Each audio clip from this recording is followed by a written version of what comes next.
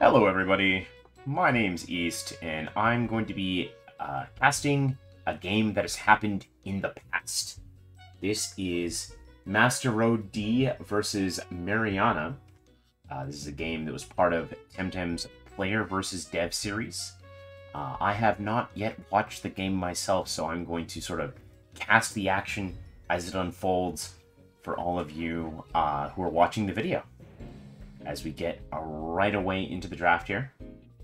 Uh, Mariana is, I believe, uh, Makita in game, and we can see they've got an adorable little platypet leading off the roster there, as well as a, a pretty standard um, mixed type mid-rangey sort of team. We see triple nature, uh, double toxic, triple toxic if you include the uh, platypet and on the other side, uh, Master Rod D playing a very slow-paced, uh, bulky team. We can see uh, the presence of the Turoc and the Volgon, uh, the Gharunder Akranox. Lots of times that these this day and age sort of like to be played bulky.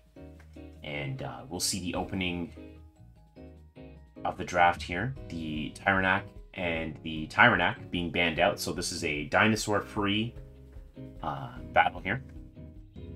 Gyalis leading off in the blue slot. Master Rod D is going to counteract that with Nidrasil Gharunder. And Makita following up with Aohi. As we see the second bans come out, it's going to be Nidrasil getting the ban and Tulcan uh, getting the ban as well. So no uh, no Fire Wind Tem to threaten things as we see Platypet has picked up uh, being sort of counteracted by double, potentially double electric here. No, we'll see Akranox instead. So Akranox Volgon picked up in the back. Lots of Toxics and Electrics here. Coming out from Master Rod D. The Nessla and the Vulffy coming back in response there. So going to be a little bit difficult for uh, Mariana to deal with the presence of all these Toxics. Not a lot of like wind attempts to answer it. And we're going to get right into the battle here as the last pickup is that Nessla. We see uh, Gharunder going to be picked up first. Gyalis and Aohi on the other side for Makita. Gyalis' resistance going to stop that mom's lunch from giving it the exhausted status.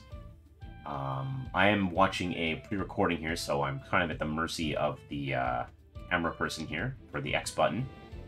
Uh, as we can see, the exhausted status affecting Aohi and Gharunder. That'll make stamina costs way higher for some of their high cost moves. Gyalis shrugging that off thanks to the resistance trait. Oh, there's a whoopsie. Oh, I think this is related to the missing sound in game. And we return just in time to see the action pick up. Quetzaleno doing decent damage to Gharunder. Nid going for the spores onto the resistant Gyalis. And the Gharunder throwing the wastewater into Aohi. That'll hit it for enough to take it down with the second one. So Quetzaleno, uh, the audio at least for that had played. So now we got our sound back. We can see that the double into Gharunder did pretty respectable damage. Uh, would definitely take it down again. But Gyalis now has those powerful crystal moves available, so Gharunder could go down to a crystal move here. And that would probably trigger up Ignis Fatuus for the Aohi, which will allow it to evade uh, an attack coming forward here. But uh, Makita off to a pretty good start.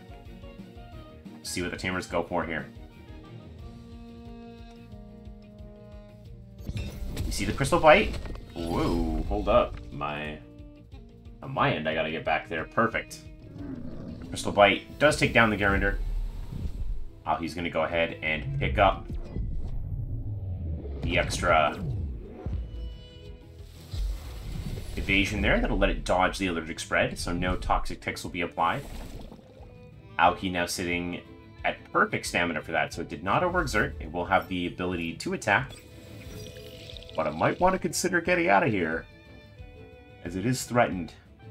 But so is the Gyalis by the Earth move here from Akranox. The could see Makita go for maybe a double into that Akranox.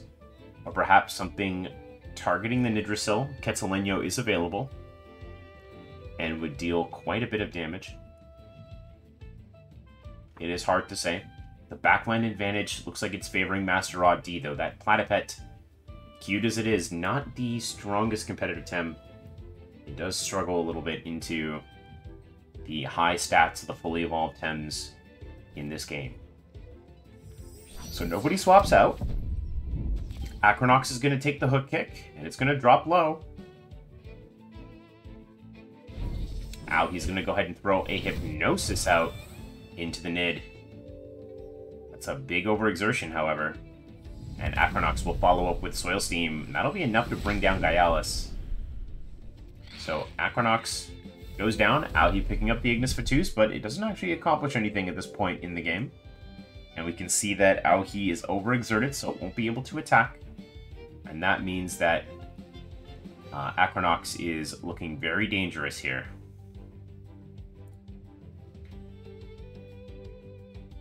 Vulffy can come in to check it with Plague, perhaps. No great swap-ins for that. We see Makita's going to go with Nessla instead. Will they opt to keep Aohi or swap it out? You would imagine with Nessla Volgon in the back, this Aohi's not accomplishing that much. Maybe it wants to simply let itself be taken down here. Setting up the Vulffy to have a pretty strong endgame into Volgon Nessla if this Nid can be dealt with.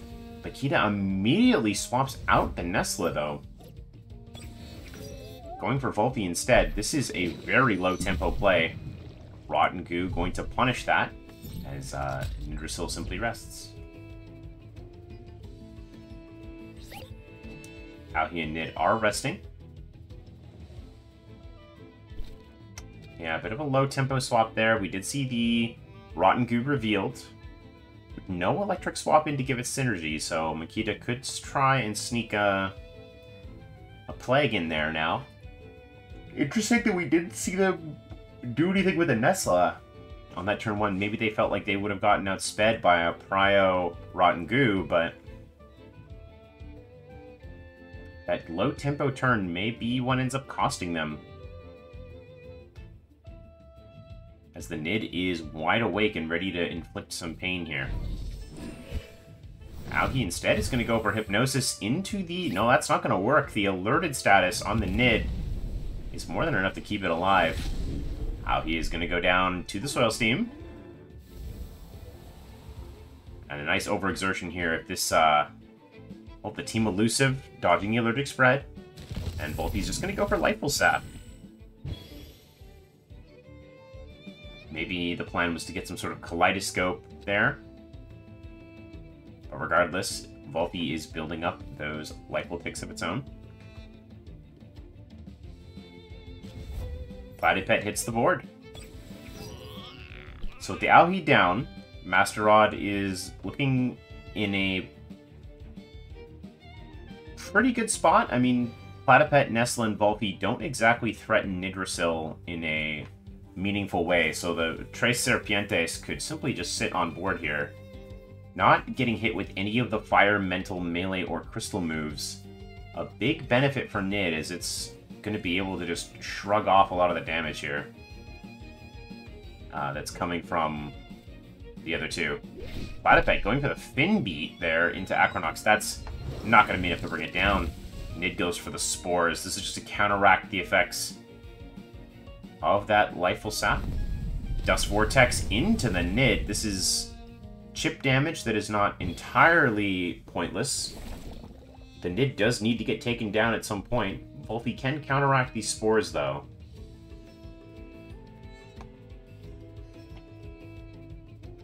Or at least it has that going for it. This Akranox is somehow still alive. Uh, after taking that hook kick, it just has been completely ignored by Makita here. And uh, the Vulffy can get rid of it with a Plague.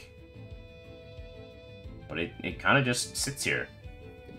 Akranox manages to go first now with the Venom spread. Big damage into the Vulffy.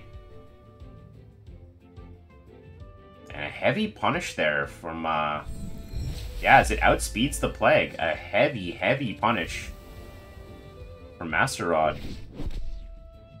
As um, Bark Shield is going to make it very difficult for physical attacks to do meaningful damage to the Nid, so that Fin Beat is doing even less. Not entirely sure why Platypet is, is Fin Beat in this matchup. It's not particularly beneficial. Uh, some sort of toxic attack would definitely be doing more damage to the Nid. Um, but we see the Vulffy now no longer has Lifeful Sap, so it is knockoutable by the Nid. You see Finbeat come out again. It's not entirely clear if Platypet has another move. We won't get to see it as Volgon connects with Thunderstrike, and that will definitely take down Platypet. This means Volgon is going to be vulnerable to the Dust Vortex, though, and it will take that full on. Uh, its bait will be activated. Vulffy, not overexerted, means it can try to throw a Sledge Gift or something, but his battle appears to be all over but the crying, as Nid is unmovable at this point. Resists all of the attacks coming out of uh, Makita's Tems. Guess the Platypet uh, just kind of spamming Finbeat. Uh, not entirely clear uh, why. I think Platypet, as we showed in our uh, Little Cup exhibition, does have some pretty strong uh, techniques on the uh, on that side of things.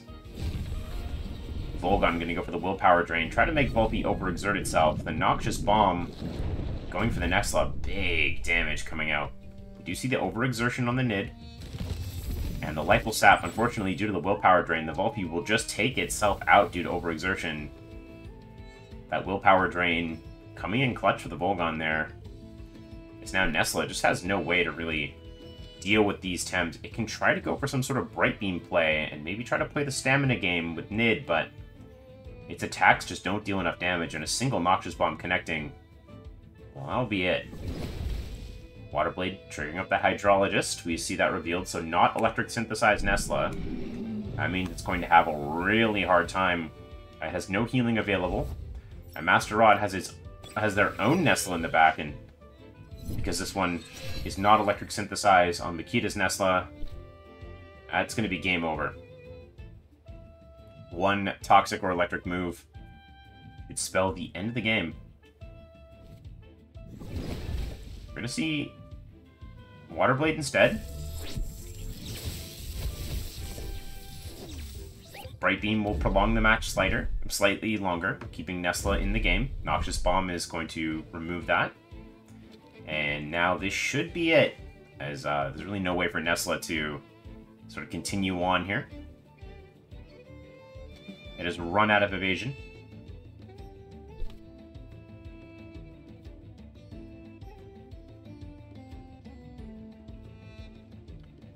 We'll just wait for the Tamers to lock in their moves here.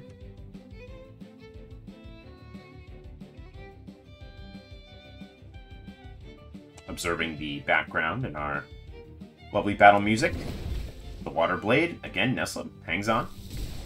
Gets a full-on Thunder Strike into the Nid, and again, it's just not going anywhere. Master Rod actually electing to rest it out here and just keep water blading the Nessla with Nessla. Maybe just milking some extra turns out of the game here. Both players preparing for game number two.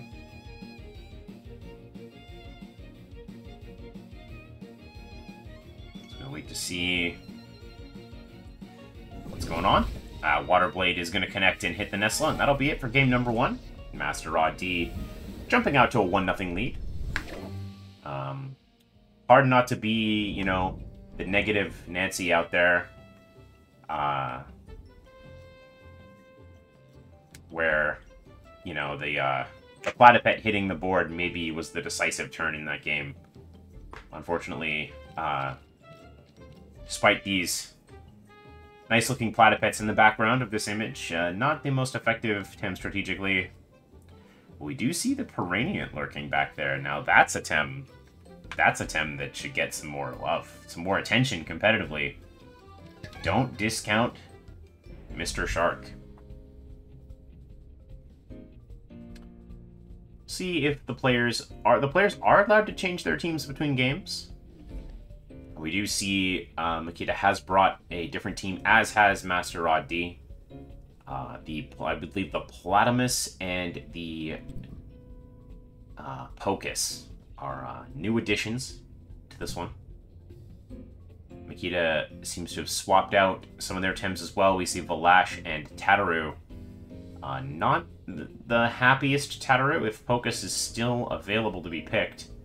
We see Nidrasil is banned out instead, though. That could indicate something else being planned here.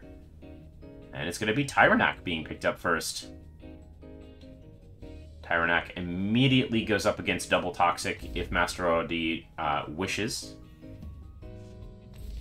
Instead, it's going to be Tyranak and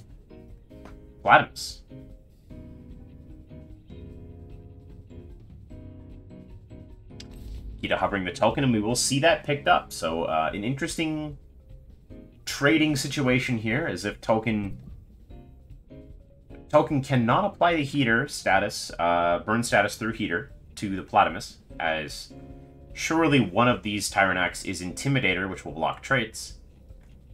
That means it is pretty unlikely that Makita will be able to bring down the Platypus in one turn. That opens up an Aquatic Whirlwind KO situation, or a Toxin Shower defensive situation. So Makita will have to put a lot of pressure on the Platypus here.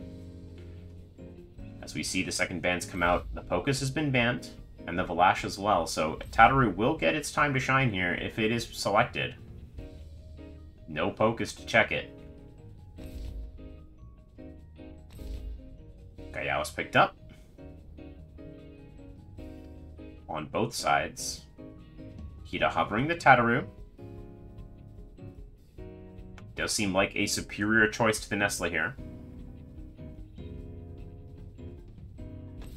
And it does get picked. Backline situation probably favoring Makita a little bit at this point, but the Turoc picked up. Is a high value Tim as well.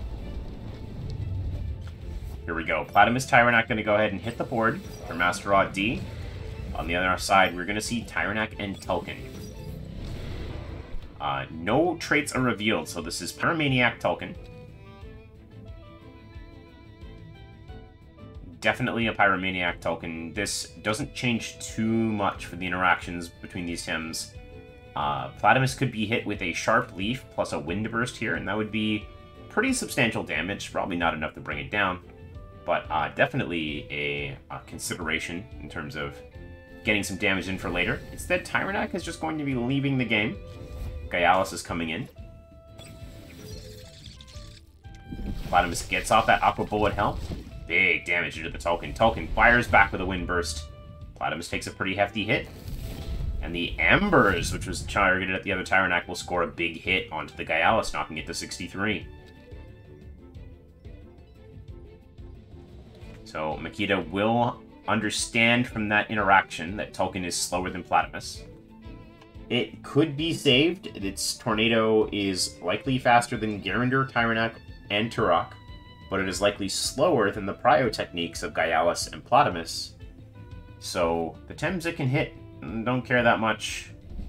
Oh, it's simply going to go first and get a Tornado off. Master Rod D, maybe anticipating a swap, doesn't go for Aquatic Whirlwind and is punished very hard for it. Gyalis is going to go ahead and land a hook kick into Knack. That's pretty good damage. But I like the Meteor Swarm coming back from Knack. This is going to deal more damage to Gyalis than Embers, and it's also going to bring down Tulcan. So Platimous traded in, and even after the Tornado scoring the KO, Master Rod D coming out ahead in terms of material uh, after this one. Hook kick has been committed, so Tyranak comes back in. This should be a pretty free Turoc here for Master Rod D, and that is exactly what we see. Uh, this board state looking pretty favorable for Master Rod D. No Vulffy coming out there. Uh, maybe a slight misplay from Makita, as this board, unless Tyranak has Sharp Leaf, is almost completely tilted in Master uh, D's favor. Seeing this, the Gyalis is going to retreat. The Tateru coming in here. It's actually a double swap. Vulffy coming in for Knack, so... Maybe trying to get away from Outgrowth here, as Feather Gatling will hit the Vulffy. It seems pretty bulky. It's a Hand Fan Turoc. Bit of an interesting item choice there, a bit interesting gear choice. nutrition bar Tateru is going to soak up those embers like it's nothing, though. Less than 20% damage dealt. Now, Tyranak is low on stamina, so Makita can choose to ignore it and go for the hits onto the Turoc slot. Plague plus Major Slash will deal heavy damage to Turoc. Turoc just simply stays in. The Turbine is going to deal big damage to the Vulffy. Tactical Strike being triggered up there. Intimidator no longer active if it was in the first place. Hand Fan dealing big damage. And Makita going back for the Lightful Sap on Vulffy, just trying to keep it bulked up. Tyranak is going to eat a Major Slash here, and this is big damage. And it goes from the Team Elusive dodging the Meteor Swarm. That's nice there. And overexerting. This kind of helps equal things out. We see the building blocks on Knack, but it's very low HP. Makita can simply uh, see, look to ignore the Tyranak at this point and target that Turoc slot instead. Vulffy, hard to bring down, even for Hand Fan Turoc. Master Rod is going to switch out the Tyranak, get some hold up on Gharunder. And Vulffy just goes and goes for the bush. Trying to dodge out an attack from Turoc here. Turoc goes for Rockfall, which is already dodged by Team Elusive. Maybe predicting some sort of swap there. Tateru. Perfect jab is going to hit the Gharunder that comes in, which is a very nice trade there. Uh, if Tateru can get Major Slash off into the minus defense Gharunder, that plus a Dust Vortex will surely clinch the KO here onto the Gharunder. And not a lot of good swaps from Master OD uh, into that setup, so the best they can hope for is maybe taking down Tateru with a double, but they'd have to be faster on their Gharunder, and the Dust Vortex is going to hit first. Gharunder drops low. Tateru is going to get Held Anger off as well. Perhaps Turoc just resting this turn. No, the Turoc gets hit with the Held Anger instead. Oh, not going for the guaranteed follow-up. The beef up from Gharunder going onto itself. A crazy turn from all players. All four Tems involved is... Nothing goes down. We continue this on to another turn. Vulffy very likely does not have a Sludge Gift to land here. So if Gharunder now can outspeed the Tateru because it has Pai's Electric Blow available, uh, this means that Gharunder is safe from damage from Vulffy here. Turbine is going to hit Vulffy. That's big damage. It can be shrugged off by that uh, regen ticks on the Vulffy, but War Drum amping its damage even further. We see Vulffy gets the Plague off. Doesn't outspeed the Turoc, however. Which is definitely unfortunate. And the Pai's Electric Blow with the beef up. That's more than enough to take down Tateru.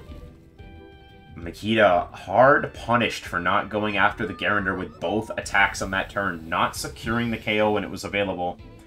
And that means that Master Rod D is continuing to get value out of Gharunder and Turoc, setting up their own Gyalis and Tyranak for value later in the game.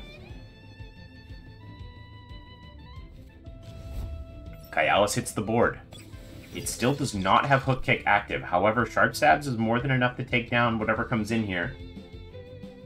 A Sharp Stabs combined with Dust Vortex will score a KO, but it will likely cost the Vulffy its life.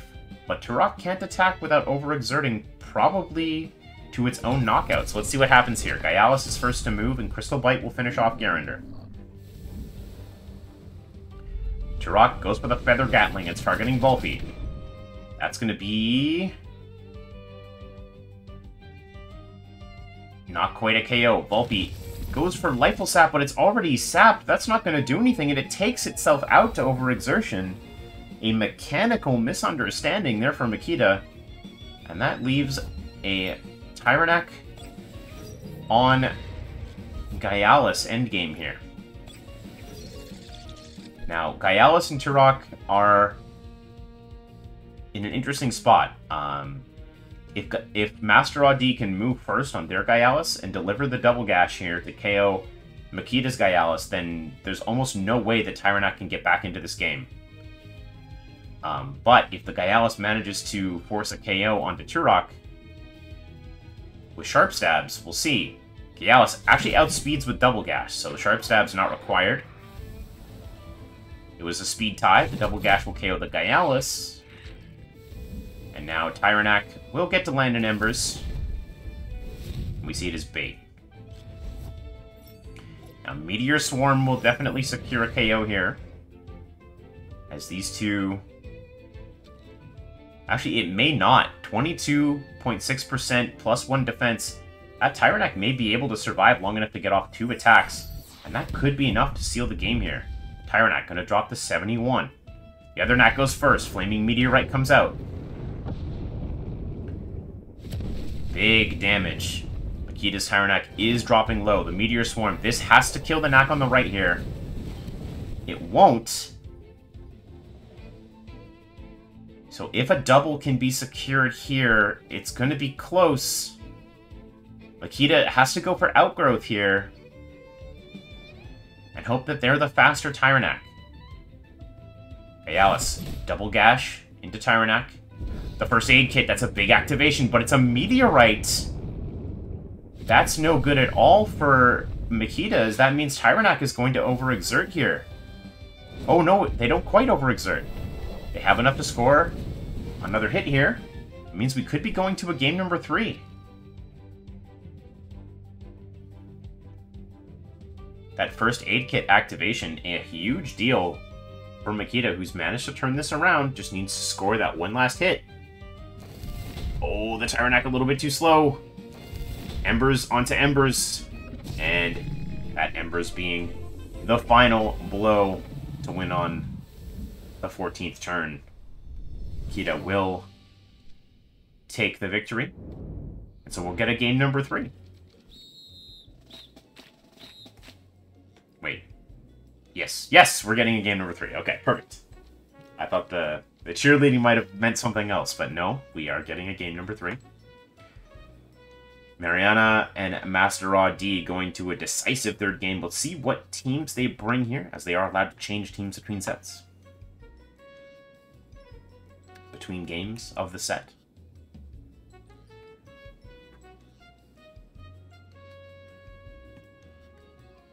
We're just waiting for that to get going. Very interesting uh, set of turns there. The Gharunder turn almost teetering over a very good position for Makita, but she was able to, or Mariana, and she was able to um, still clutch things out with the Tyranak in the endgame. The big mythical dinosaur producing lots of KOs. The crucial speed tie of the two Gyallases using uh, double gash ended up being uh, perhaps the difference there.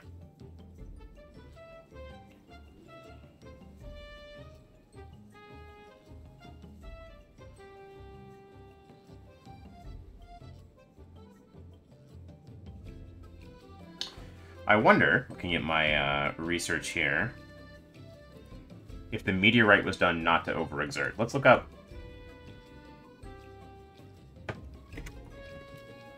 Tyranak. Outgrowth 24, Meteorite 29. No, so Outgrowth, if available, likely would have been the play there, but...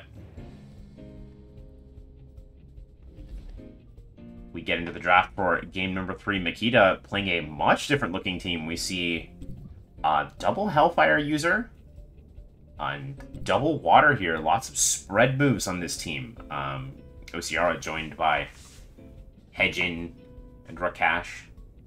We see the Vulffy banned out. That makes leads a little bit unsafe for Makita. She's going to go with Gyalis, but even Gyalis has a lot to answer for here. Two fires and two earths available for Master Rod D. We see Gyalis of their own coming in with a Tyranak here. Makita is hovering Innki. That's a very bold Innki choice. Not at all a friendly board for Innki uh, early on in this game. Going to get banned out.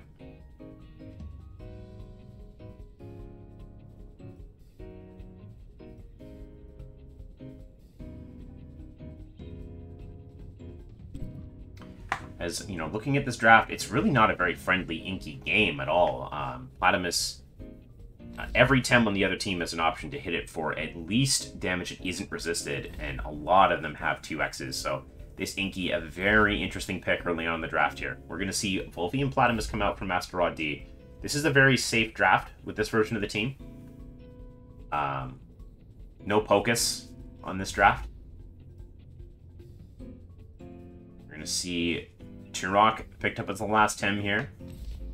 But a very strong-looking uh, board here with Tyranak Gyalis to start off the game for Master Rod D. Let's see if they can clutch it out, or if Mariana is going to bring home a win for Crema. Someone's Gyalis just activated heavy armor. It is Makita. Okay, that is not something you see very commonly. Gyalis attempt that can definitely make use of its speed, so it being uh, heavy armor is a little bit uh, unconventional. Uh, normally you see Gyalis really try to take advantage of their speed. Um, unless Makita is, of course, playing the based uh, East 2-5 slower Gyalis. Hedgine swapped in. Gyalis going for the double gash. Gyalis going for the double gash. And Tyranaks going to go for Embers. Hedgine doesn't go down to either of those. It is uh, threatened by hook kick here, but not not to the point where it's KO'd. Binary Flood is available. That could be very valuable. Dealing big damage to Gyalis. Have to watch out for mirroring, though. Intimidator blocking, gotta go fast. Gyalis will retreat. It's Turoc coming in. We'll see Hedgine just going for an ordinary Hellfire, no Binary Flood. It will still deal 2x to Gyalis. Intimidator blocking the mirroring there. Gyalis is going to go right back at the hedge and hook kick, dealing huge damage, not quite enough to bring it down, but the Meteor Swarm will do so. And just like that, Hedgine removed from the situation. Gyalis has lost hook kick, so Turoc does threaten it out here. Not a lot of good swap-ins to uh, Gyalis combined with Turoc, though. You can see a wind move and a melee move, putting a lot of pressure onto MasterOdd. But the Gyalis will get to move first as the uh, comes out here instead. Maybe trying to go for some sort of double Prio situation to get ahead of the Gyalis. Could Turbine and Water Blade maybe take down the Gyalis before it attacks with Crystal Bite? Because this Crystal Bite creates a ton of threat uh, onto the Nessla here. And of course, Outgrowth from Tyranak looks incredibly good here. We just see Gyalis leave in favor of Vulffy. Vulffy's gonna get that Chamomile activated. Tyranak leaves as well, passing up. MasterOdd just passing up a really good uh, double in there to... Oh, and but they do catch the Water Blade going the other way, but the Turbine hits the Platimous that's a big get from for Makita as Platimous goes straight from full to zero. Not the bulkiest Platimous out there. Taking the turbine, it will go down. MasterOdd likely kicking themselves, not going for the Outgrowth plus Crystal Bite there. We'll see Turoc come in instead.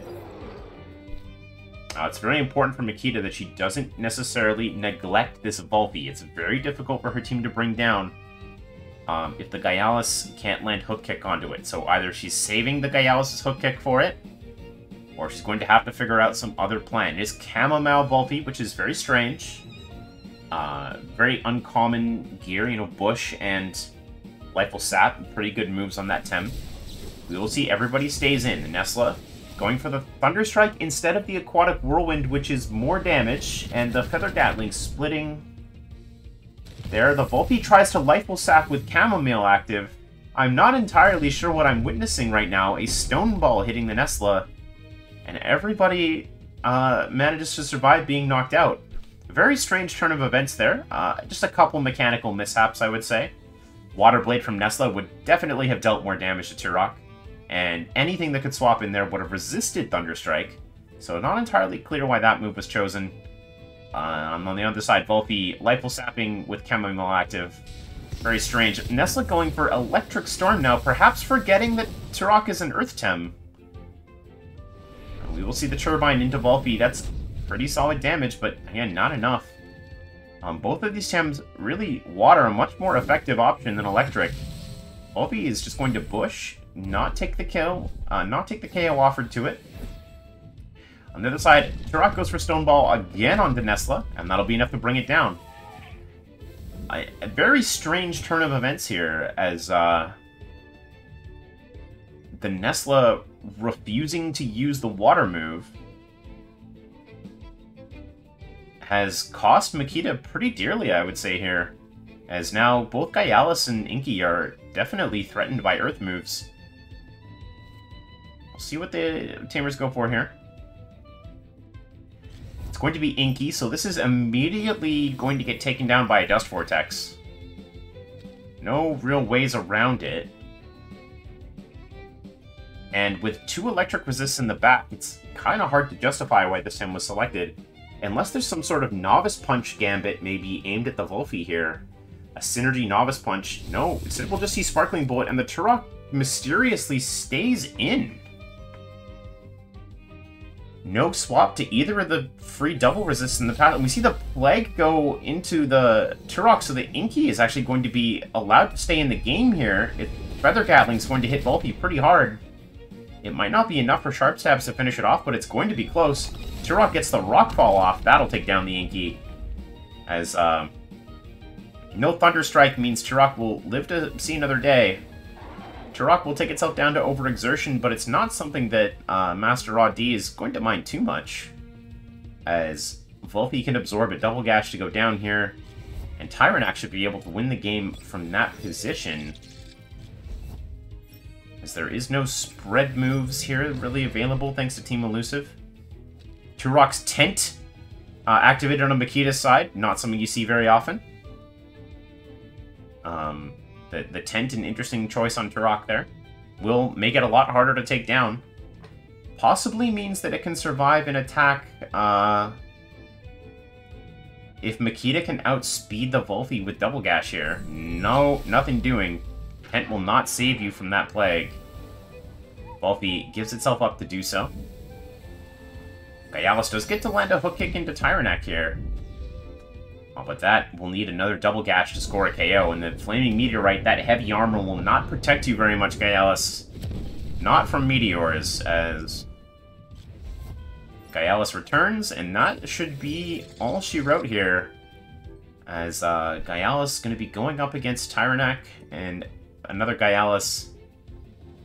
And it's just a little bit too slow with that heavy armor, and also uh, some previous missteps, perhaps, as Tyranak takes the series with Embers. So MasterOdd will emerge victorious uh, in this player versus dev uh, show match best of three. Thank you so much. Um, obviously, 23rd of August has already passed. But uh, yeah, I hope you enjoyed this video and those matches. There should be one more video uh, coming out at some point with a more detailed, sort of in-depth uh, explanation of how to watch competitive Temtem. So if you're new to the scene, new to the game, be sure to check that out. Uh, until next time, my name's East, and have a great uh, rest of your day.